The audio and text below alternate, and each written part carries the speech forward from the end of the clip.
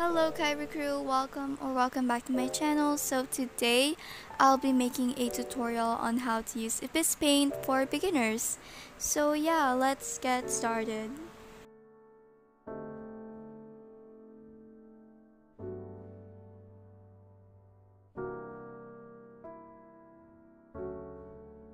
Let's get started by downloading Ibis Paint in Play Store if you haven't already done that yet.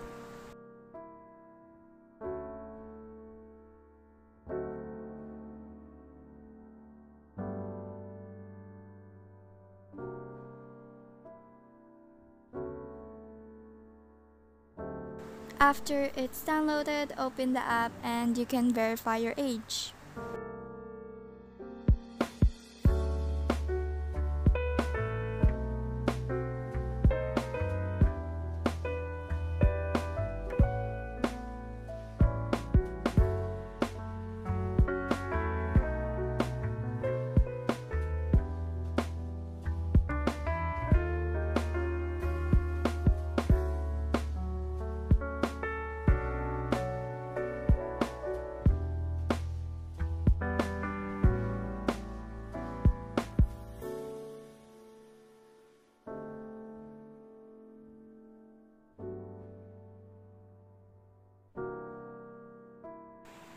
Click on my gallery and click the plus sign on the corner to make a new canvas. You can adjust, uh, adjust the size or you can just pick some default sizes on the bottom which is what I'm going to do. You can already draw whatever your heart desires on the canvas but I'm going to give you some information and stuff you can also do.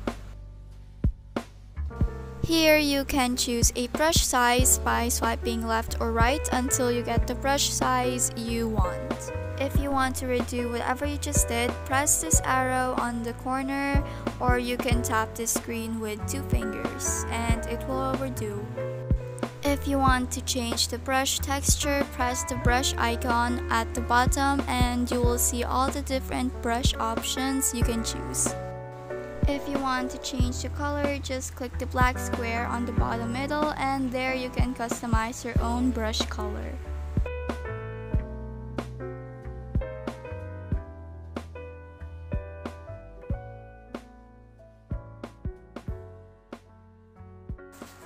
Also, as you can see, not all the brushes are free. You can either buy the brushes or you can watch an ad which is what I'm going to do.